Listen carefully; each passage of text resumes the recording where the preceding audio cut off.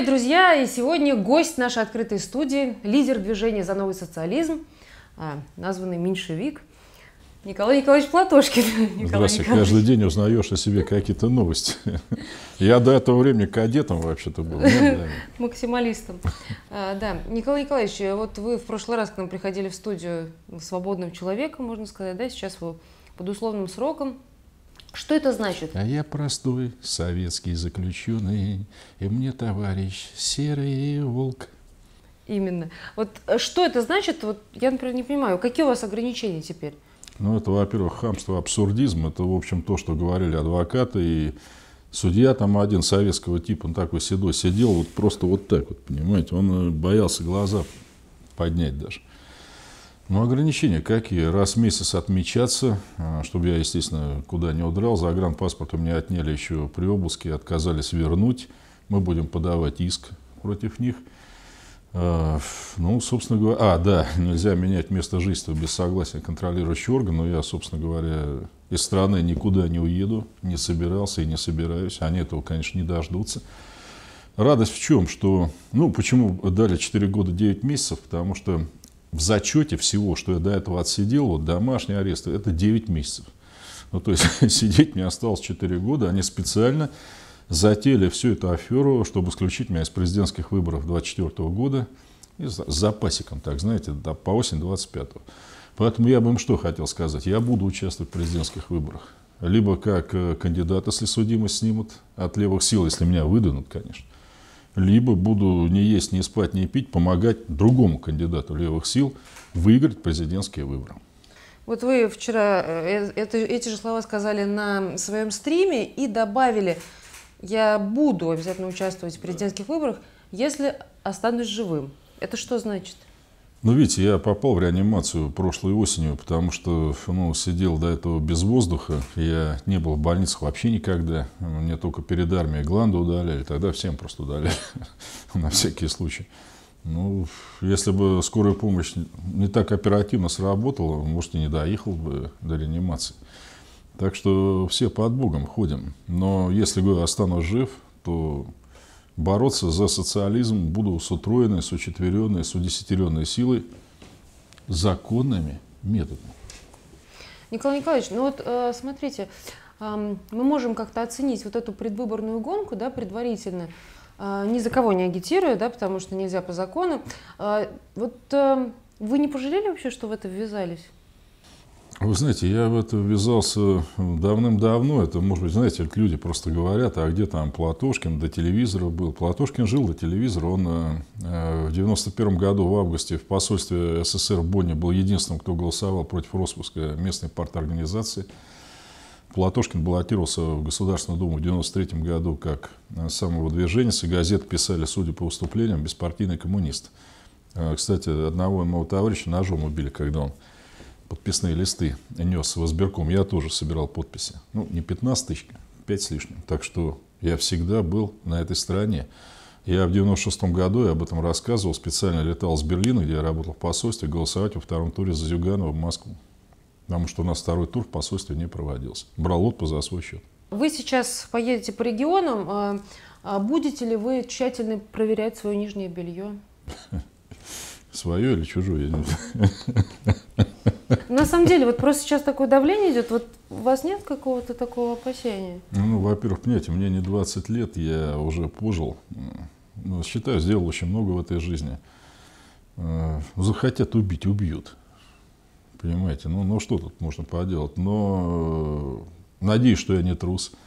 Из двух форм жизни, как говорил Маркс, горение и гниение, я выбрал первую – Поэтому я с этого пути не сверну. Вот смотрите, мы освещали оба э, ваших суда, э, рассмотрение апелляционной коллегии. Это да, точнее их приговора. суды. Да, их, и, их суды.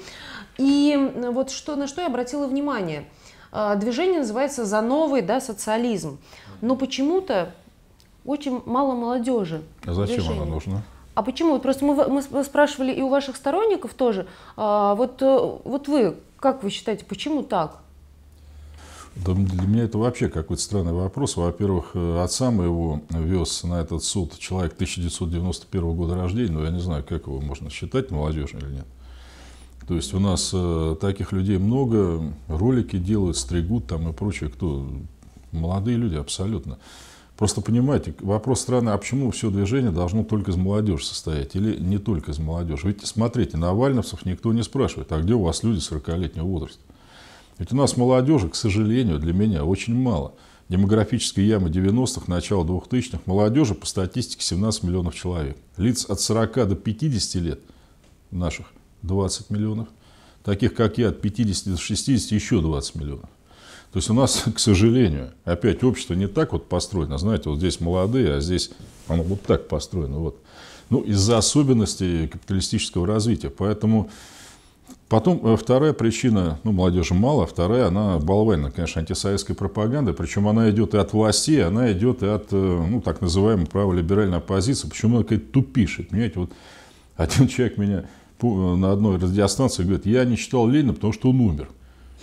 Но Пушкин тоже умер, я не знаю, там кто еще, Лев Толстой скончался еще до Ленина. Ну, бред какой-то, понимаете? Они считают как, что если СССР в прошлом был, значит он плохой.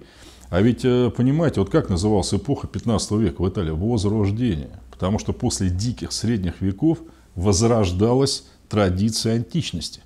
Ну, я представляю Леонардо да Винчи, который говорил, какой-то Аристотель, придурок вообще, жил в какое-то там дикое время. Ну, ну, ну, понимаете, это вот на уровне ну, животном каком-то, понимаете. Не идет дискуссия о том, что было хорошо в СССР, что было плохо, а просто это было давно. Поэтому это неправильно. И у навальновцев, у других, у них, к сожалению, знаете, какая-то странная. Вот если человек там свыше 50 лет, это не человек, он как бы должен уйти. Знаете, был такой прохвост в кинофильме «Старики-разбойники», Миронов его играл, Андрей, там он, его куда-то выгнали, он приходил устраиваться в МВД и говорил э, главному герою, «Хм, нам время, вам время тлеть, а нам цвести. Ну, тут, помню, там пистолет достал там и начал его гонять. Ну, ну, понимаете, это вот аргументы на каком-то дурацком уровне. Понимаете, если я вас на три года моложе, я вас на три года лучше, что ли? Как и наоборот, понимаете, если да вот молодежь, она тупая, соплет, тут тоже глупость абсолютно. Понимаете, это вот, ну еще Тургенев, отцы и дети, это все разрешил, понимаете, это все искусственный конфликт. Есть хорошие люди, честные, умные, добрые, они могут молодые, средние, пожилые. Ну и то же самое на плохой стороне.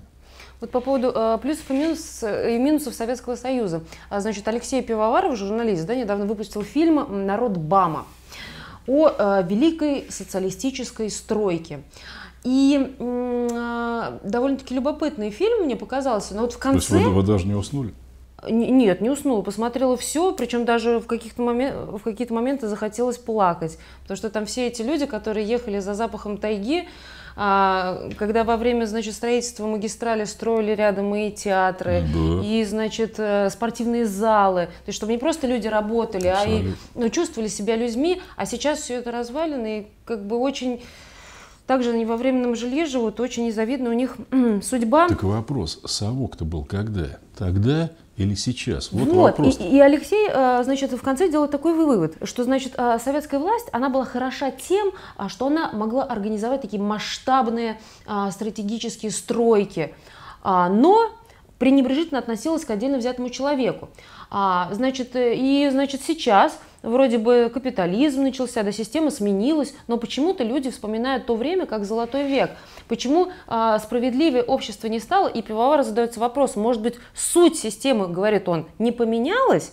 А, и вот сегодня... Это, вот это козлизм, понимаете? Вот этому пивовару надо пиво прекратить варить и пить. Да, да. И вот он говорит, суть системы не поменялась. И сегодня тоже, а, значит, правительство Российской Федерации, оно обращает внимание прежде всего на национальные Туп... проекты Тупизм. масштабные. Тупизм. А, значит, э, на отдельно взятого человека не обращает. Можно ли сравнить национальные проекты вот сегодня да, и а, индустриализацию? Смысле, давайте фигней вот не заниматься всяким словоблудием. Вопрос простой. В советское время люди ехали на Дальний Восток или с Дальнего Востока.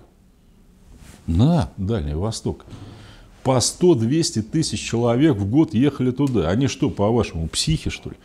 Понимаете, если вот, вот, эту, вот этот бред, э, я же был на Обаме, в отличие, видимо, от Пивоварова, значит, там э, говорили люди, я приезжаю, молодой специалист, мне ключ от квартиры, да, мне зарплату тысяча советских рублей. Это в Москве тогда было 150 примерно, да, там 150-170. Больница школа, да, как вы правильно сказали, кинотеатры. Причем, знаете, что меня поражало? Вот там вокзалы на Обаме, они все разные. То есть, скажем, этот вокзал в украинском стиле, потому что его строила украинская бригада. Причем там полно, маленький, ну, с нашей точки зрения, вокзал. Он красивый. Понимаете, другой вокзал, там, белорусский, условно говоря, и так далее. Сейчас, ну, что сравнить, валят все оттуда, да вы что? Опять, почему оттуда уезжают, а где работать? Ведь понимаете, если там сейчас ЖКХ, ну, жилищно-коммунальные услуги стоят дороже, чем пенсия, ну, то есть человек квартиру обогреть не может. Ну, как можно такую тупизну сравнивать? И самое главное, Организация Объединенных Наций, в отличие от всех этих дебилов, псевдодокументалистов, у них есть один главный критерий счастья человека. Он простой, вот, вот такой. Продолжительность жизни средняя. Продолжительность жизни в советское время была выше, чем сейчас. Раз. И у нас, как вы знаете, каждый год население сильно прибавлялось в советское время. Но не будут женщины рожать детей, если нет уверенности в завтрашнем дне, если школы нет, детского сада нет, если сидеть надо с ним. Понимаете, ну не заставите вы их ни при какой власти рожать, понимаете, еще не научились. Э, по итогам половины этого года убыль населения полмиллиона человек в России. Ну что сравнивать? Почему это одно и то же-то? Когда там все росло, и расцветало. Здесь все падает. Вот сейчас в Комсомольске на Амуре, сейчас, если бы Советский Союз был, жило бы миллион человек. Э, по генплану развития. А сейчас 200 тысяч живет. Уехало 100. Это еще так, по прикидкам. Я думаю, что больше гораздо. Ну и как это можно сравнивать, интересно? Да, мне тоже это удивило. Просто ролик уже набрал 2 миллиона просмотров, поэтому вот. я думаю, что... Видите, поэтому вот э, молодежь так и считает, что что-то все в землянках там жили. Нет, после войны, конечно.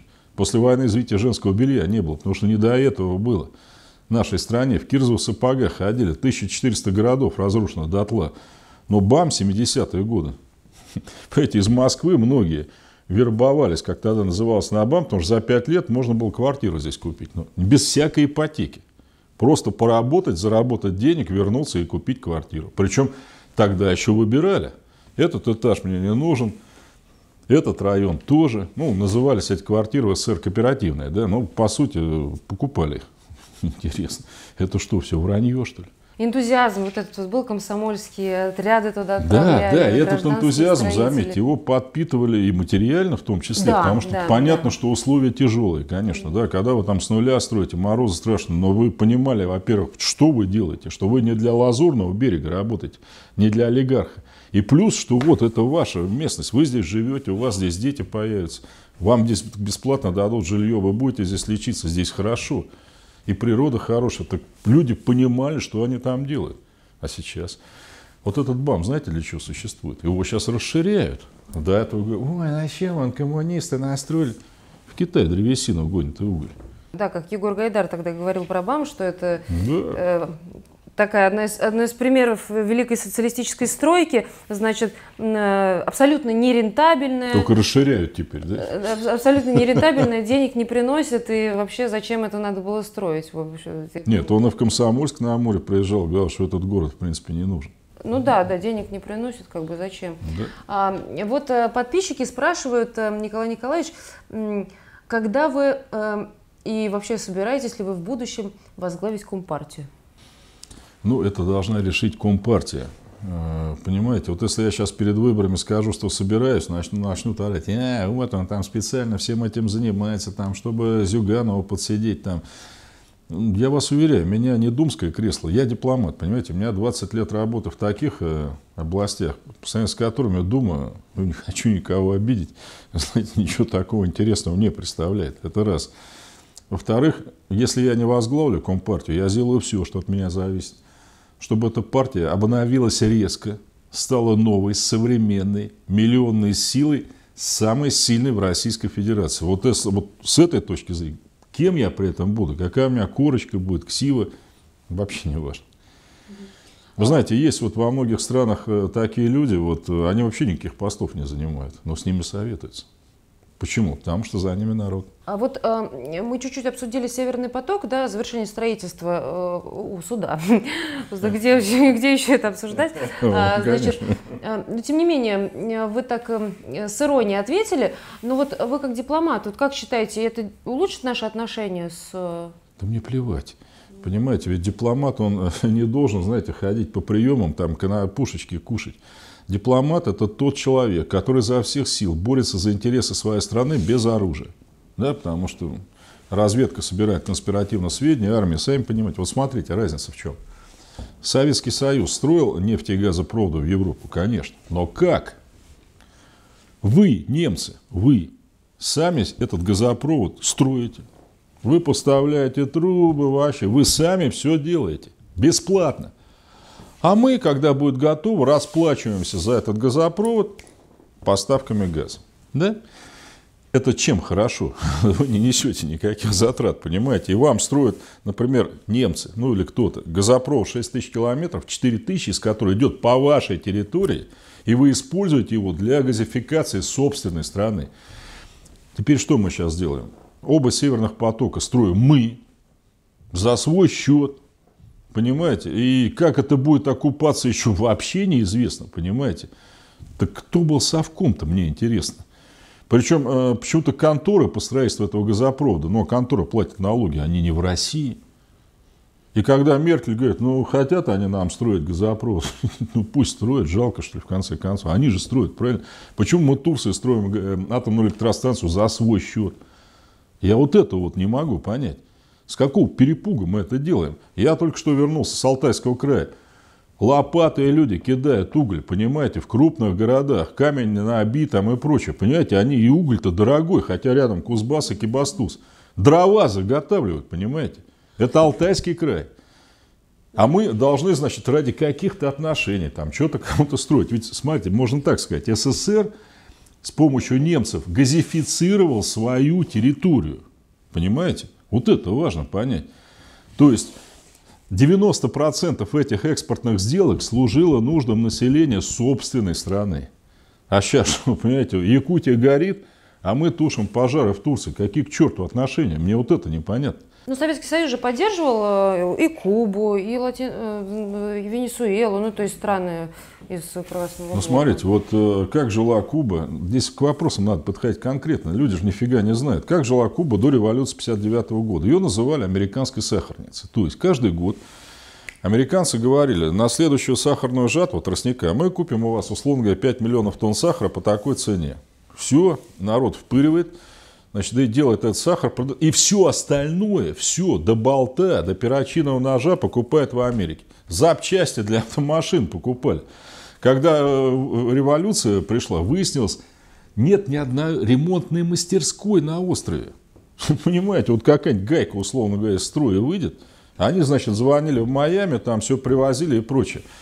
Как работал СССР с Кубой? Да так же абсолютно. То есть Куба производила сахар. Тростниковый сахар гораздо дешевле свекловичного, вы же понимаете. Это же трава, по сути дела. Мы в обмен то же самое, но мы поставляли нефть и развивали экономику острова. Можете себе представить, на Кубе до революции, это была, кстати, считалась такая среднеразвитая, в общем-то, страна, не было единой электросети. Представляете, вот остров вроде небольшой, не, не было единой железнодорожной сети. Понимаете, поехал на поезде, сел там, пересел куда-то, потом опять куда-то поехал. В основном железнодорожные линии это были от сахарных заводов до портов, куда они в Америку. То есть это был не, не остров как таковой, а придаток штата Флориды. Кубинцам построили завод по ремонту техники. Мы впервые в истории человечества сделали сахароуборочный, ну, тростниково-уборочный комбайн в Коломне. Американцы не смогли, мы сделали, понимаете? То есть для того мы научили кубинцев смех, рыбу ловить. Представляете, вот остров, да? Они рыбу не ели, у них не было рыболовецкого флота вообще. Они рыбу покупали в Соединенных Штатах, остров. Понимаете, то есть мы меняя нефть на сахар. У них нет нефти, у нас нет сахара. У них есть тропические... То есть взаимовыгодные получается. Ну, понимаете, у нас манго будет расти, ну, у нас кофе будет расти. Но нет, ну почему? Если американцы этим занимались скупчу, мы не должны были заниматься. И вот это вот вранье, что мы у них сахар в три дорого покупали, там, а им в три дешево нефть, это абсолютнейшее вранье. Торговля шла по мировым ценам. Просто она была зачетная, да? То есть без долларов. Вы мне, условно говоря, тонну сахара – я вам, условно говоря, тонну нефти. Ну, я утрирую, да, там, в зависимости от цен. Что там плохого, не могу понять. Николай Николаевич, вы э, сказали про э, Алтай, да, что вы были на Алтае. И вот вчера на стриме вы упомянули такую вещь, что э, вам очень приятно там находиться, потому что вы почувствовали себя как будто... В детстве, да. что двери все открыты, что да. можно к соседям в любой момент прийти, они угостят яблочками. И вот э, в связи с этим, вот просто как меняется мир, он стал какой-то неспокойный. Вот, например, значит, власти Москвы на днях заявили, что в целях безопасности со следующего года будет введена система по распознаванию лиц в школах. А уже с 15 октября в метро в нашем, да, московском, а, ведут эту систему во всех станциях, и оплатить проезд можно будет с помощью сервиса FacePay. А вот, э, Николай Николаевич, как вы относитесь к таким нововведениям? И это увеличит ли безопасность граждан? Нет. Ну, Почему? Ну, смотрите, в Америке всякие ваши феи, пейсы и прочие, и фейсы, я же там работал давно, они, им там уже лет 15, наверное, понимаете. Там уже на безнал в то время все давно перешли. Там стрельба идет каждый, ну, не, не скажу каждый день, конечно, да, но, но вы сами понимаете, да. Время от времени, то там школу какую-то перебили, то там кинотеатр. Смотрите, это от общества все. Там все одинокие люди. Они ненавидят друг друга. Они, опять, почему? Они видят конкурента в человеке, понимаете? Вот он мое рабочее место, наверное, займет. А вот он, это общество. Это в Советском Союзе, предположим, вы же понимаете, кто отгранял школу? Да никто. Вот, да, такой Вообще даже мем никто. есть, что, э, значит, школа в тоталитарном совке и свободной России. То есть там была у нас техничка Мария Семенова, да, в моей школе, там постучишь, э, ну что надо там, ну что-то там забыл, там открой. И чтобы ее хоть раз грабили, или что-то там вообще воровали, потому что было другое общество, были другие отношения между людьми. Сейчас можно пулеметных вышек наставить, там, не знаю, как в аэропортах сделать школы общество изнутри все гнилое и больное, потому что работает по принципу человек человеку волк. И пока мы не вернемся к социализму, на новой, конечно, основе, ничего не изменится. Никакие Росгвардии, пулеметные вышки ничего не помогут. Все-таки поговорим о базисе. Да? Э, уровень инфляции в России в августе составил 6,68%, побив рекорд за 5 лет. А, вот. И годовая инфляция уже обновляла пятилетний максимум в мае, в июне, теперь, значит, в августе, может быть, и в сентябре обновит, кто знает. Вот а, при этом, вот мы как раз общались с вашими сторонниками у здания суда, женщина рассказывала, что пенсия 8 тысяч, прибавили там на 124, а морковка 130 стоит. Вот как при этом людям выживать в таких условиях сейчас? Если бы это волновало бы правительство, понимаете. Правительство, если я вот об этом скажу, мне еще там 5 лет присобачит, понимаете. Потому что Видите ли, я сказал, что у нас больничных коек не хватает. За это человеку надо 5 лет дать. В то время как моя жена с тяжелым ковидом лежала в Москве на ледовой арене. В Москве. Я там не говорю какие-то регионы и прочее. Макс Орешкин, бывший министр экономики, мой любимый министр, который на всех совещаниях обычно честно говорил, я не знаю. Мне даже студентам было стыдно что-то преподавать на фоне этого министра, потому что ну что с него спрашивать. Он сейчас вам что говорит? Кто виноват в инфляции в России? Соединенные Штаты Америки. Ну, перец ясный, но только не мы. А он сейчас советник Путина по экономическим вопросам. Лучше бы он морковку бы выращивал, понимаете? Э, почему у нас высокая инфляция? Потому что наша периферийная дурацкая экономика, она знаете, чем плохая? Мы живем за счет продажи нефти и газа. Ну, там, уголька еще чуть-чуть. Значит, низкие цены мировые, а мы за границу ведь продаем. Нам плохо, потому что нечем платить зарплаты бюджетников высокие цены, нам тоже плохо. Знаете почему? Потому что в страну идут доллары, ничем не обеспеченные. Ну, то есть мы туда что-то продали, значит, получили доллары, поменяли на рубли. А под рубли где товары? А есть у нас в стране вообще, а, может быть, какие-то группы, а, значит, таких а, предпринимателей, сообществ, капиталистов, которые хотят именно промышленность развивать? Или нет такого? У капиталистов, как правильно писали и Маркс, и Энгельс, или нет отечества. У них отечество там, где бабки, да? То есть тут смысл простой. Если я где могу больше заработать? Вот почему в Алтайском крае или в том же самом Хабаровском, где есть уголь, почему он там дорогой? Почему растут цены на стройматериалы? Народ никак не может врубиться. Что такое арматура, казалось бы, да? Потому что сидит капиталист. Цены на арматуру в Китае выросли по внутрикитайским соображениям. Значит, он может продать, ну, ну например, в Китае за 100 долларов – арматуру, цену условно, или в Хабаровский край за 50. Да пошел он нафиг, этот Хабаровский край. Он продает за 100, пошли вы в баню. Я когда цены на уголь в Хабаровском крае в 19-м смотрел, для населения, фургал их установил, думаю, что такие цены-то высокие. Потом вы пересчитал в доллары, это оказывается экспортная цена вот этой угольной компании в Южную Корею. То есть смысл такой, я что в Южную Корею по 75 долларов тонну, что вам по 75 долларов. А если у вас нет денег – Это ваша проблема. Тогда я в Южную Корею продам. Видите, все просто. Понимаете, вот и все. Капиталисту плевать на вас. Ведь понимаете, если в СССР задачей завода был физический выпуск изделий, да, вот вам надо выпустить 100 тракторов, да, то при капитализме задача с каждой единицы проданной продукции содрать с вас как можно больше бабла. Понимаете, вот и все. Если у вас этого бабла нет, ну будем искать, где есть.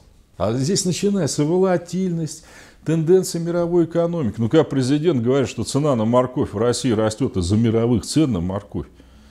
Ну, я не знаю, что есть мировой рынок моркови, что ли? Что есть морковная биржа, угу. где определяется мировая цена на морковь. Мировая цена на нефть есть, на сахар есть, на что еще? На цемент даже есть, на цветные металлы есть, но на морковь. Ну, ну, ну вот именно, и вы смеетесь, и я. И когда говорят, у нас цена на морковь растет из-за каких-то мировых цен. Вот вы, например, говорили, что я такого не говорю. при желании Это я суд, суд вспоминаю. Да, я подумали, да. А, вы, значит, э, сказали, что на самом деле, ну, при желании, да, можно было бы а, быстро облегчить, по крайней мере, чуть-чуть облегчить жизнь россиян. А, вот напомните, что нужно, необходимо было в первую очередь, что сделать? Ну, смотрите, капитализм, опять, это настолько простая вещь по сравнению с социализмом. Социализм, он чем сложен? Вы сидите и в голове рисуете себе свою экономику. И начинаете, так, здесь будет завод, э, ему смежники должны поставлять отсюда, значит, здесь должна быть железнодорожная линия. Так, а здесь же река, а тут мост. Ага. Представляете, да, это в масштабах страны. Здесь все просто, смотрите. При капитализме можно стимулировать либо предложение производителя, либо спрос – либо то и другое. Да? Значит, у нас проблема, смотрите, в чем? Из-за политики правительства. У нас издержки производства у, любого производителя растут. Вот, казалось бы, молоко, да, ну, простая вещь, но непростая. Корма дорогие для коровок. А почему они дорогие? Потому что зерно, как хвалится Путин, отправляется за границу, знать, а зерно основа комбикорма для коров. Значит, цены-то заграничные для наших этих самых производителей, они у него растут. А доходы населения при этом, опять по официальным данным, восьмой год падают. Вы представляете, да? То есть у меня себестоимость растет. Мне бы надо повысить цену, но я же должен что-то зарабатывать. А мне говорят, а кто у вас по такой цене купит? Население все нищее. Оно получает, как вы правильно сказали, по 8 тысяч рублей, там по 15. В результате я беру свою корову, веду куда? Ну, бой, причем забить сложно. Вот такой регламент, вот. Понимаете, чтобы забить бедную корову, вам еще столько справок надо собрать, что у вас цена говядины станет какой-то запредельной. Вы сто раз в жизни поклянетесь этого не делать. Отсюда, значит, поддерживаем производителя субсидиями. Как это делает Евросоюз, Соединенные Штаты? Они все это делают. Я же дипломат, я предлагаю только то, что работает в других странах давно и успешно. Значит, мы субсидируем производство – Прежде всего молока, говядины, потому что это как бы длинное производство, да, называется длинное мясо. Это протекционизм получается? Да, и все, все пользуются, все. И самое главное, еще, естественно, одновременно, мы с вами стимулируем что? Покупательную способность населения. Да? Минимальный размер оплаты труда не 13 тысяч, как он еще будет с 1 января, если будет, а 25. То есть народ идет в магазин, с новыми деньгами, значит, производитель с удовольствием производит, потому что мы ему частично компенсируем издержки. Все. Ведь, понимаете, американцы вылезли так из кризиса 2008 года. Я об этом рассказывал. Они каждому бедному американцу или среднему 50 тысяч долларов на семью доход в год прислали по почте чек от правительства США на 2500 долларов. Просто чек. Иди в магазин и покупай. И все. И самое интересное, это прибыльная операция для государства. Вот когда эти жлобы, которые у нас возглавляют финансово-экономический блок, говорят, ну это затраты, там... нет, это прибыльное дело. И Потому что налогооблагаемая база, она растет. Насчет инфляции. Смотрите, если у вас население бесится от жира, ну, предположим, сижу я в своем пентхаузе на Лазурке, но у меня все есть.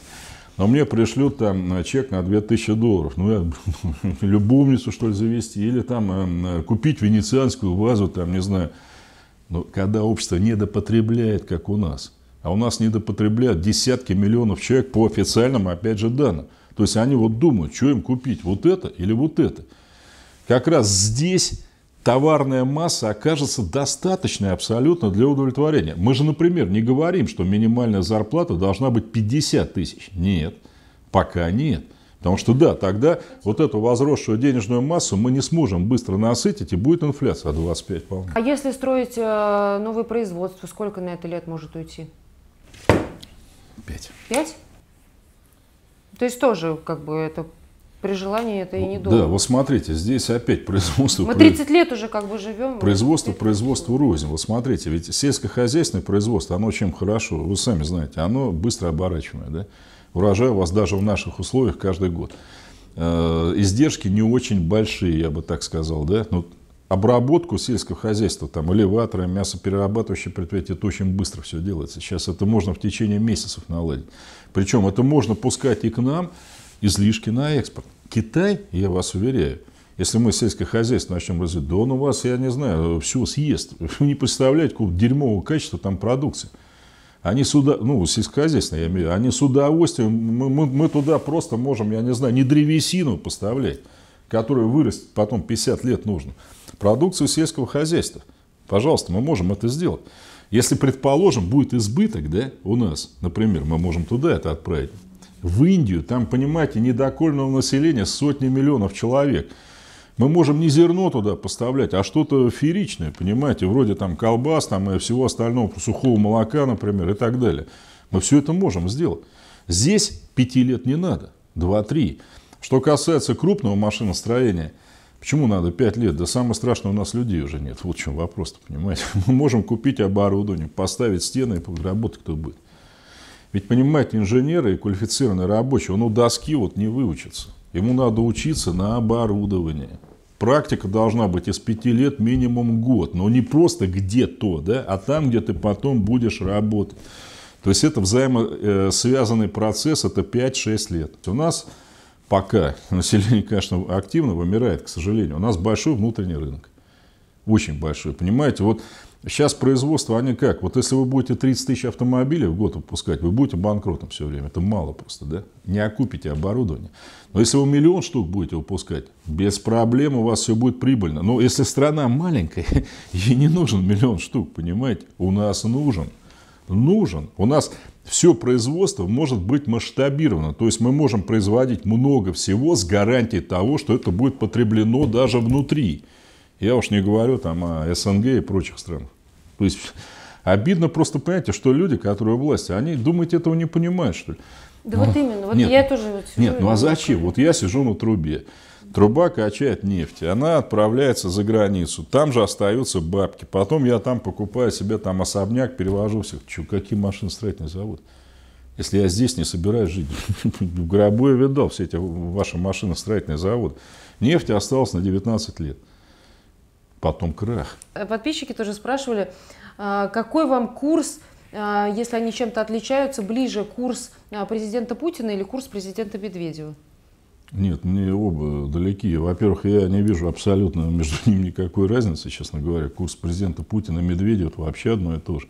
А в чем там э, подписчики у вас какие-то оригинальные? Курс один. Хищнический вывоз сырья за границу, оставление там же денег и все. А что тут? Видите, это прям так вот сложно, что ли. Вот взять все советское, что открыто. Э, газопроводы практически все построены, да.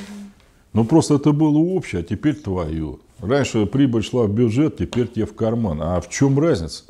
А, люди, гражданское общество, что они могут сделать, чтобы поменять ситуацию, потому что сверху ждать не приходится, что ли? Ну вот, собственно говоря, я всех призываю не балдеть дома на диванах, но есть пара лево-радикальных придурков. Знаете, про таких раньше говорят, что человек левее здравого смысла. Да? То есть, а вот надо ждать мировой революции, или что метеорит на Кремль упадет. Нет, надо идти на выборы, идти в наблюдатели. Вот э, как раз женщина у суда, тоже мы с ней общались, она жаловалась на то, что их на работе заставляют, она бюджетник, заставляет регистрироваться, голосовать электронно. Вот ей что делать? Я, понимаете, это все какой-то художественный свист. Предположим, давайте разыграем. Вы работодатель, вызываете Винога Блатушкин, иди регистрируйся на сайте госуслуг. Ну, хорошо. Пришел, проголосовал за других. И что? Ну, в смысле, даже не пришел, сел к своему компьютеру. Да, здесь другая вещь еще есть. Заставляет отдавать пароли от сайта госуслуг. Вот. То же самое. Ну, предположим, вы трус. Я бы вот не отдал, например, и так далее. Ну, ладно, отдал. Пришел домой, зарегистрировал новый пароль. Это отговорки, получается, Абсолютно. такие, да, больше? Это, знаете, вот кто-то где-то услышал, меня долбали все лето, а вдруг заставят только вакцинированным разрешать голосовать. Я говорю, ну прекратите вы распространять вот этот дебилизм-то, понимаете? Ну, ну где это есть? А вдруг, а вот если, а если меня уволят? Чепуха все это. Николай Николаевич, откуда вот у вас столько энергии? Ну, я, видите, кофейку выпил у вас, поэтому подзарядился. Э, ну, видите, энергия, она проистекает обычно из убеждений. Убеждение проистекает, ну, на мой взгляд, я по себе только могу судить, самые глубокие из эмоций. Э, мои главные эмоции – это стыд и гнев за то, что сделали с моей страной в 91 году. А отсюда другая эмоция – всю энергию, которая у меня еще осталась, положить на то, чтобы исправить ситуацию и пожить еще в нормальной, хорошей стране. Спасибо огромное. Друзья, с нами был лидер движения «Новый социализм» Николай Николаевич Платошкин. Меня зовут Евгения Родионова. До скорых встреч. Пока. Спасибо, Евгения.